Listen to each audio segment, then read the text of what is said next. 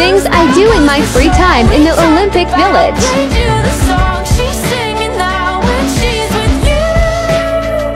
Workout in the gym. Go to the village stores.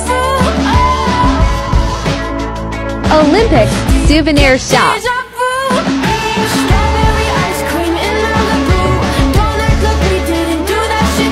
Hair salon. Get my nails done first. Buy snacks at cute little convenience store. Walk and admire the views. Go to the restoration room. Go play fun games.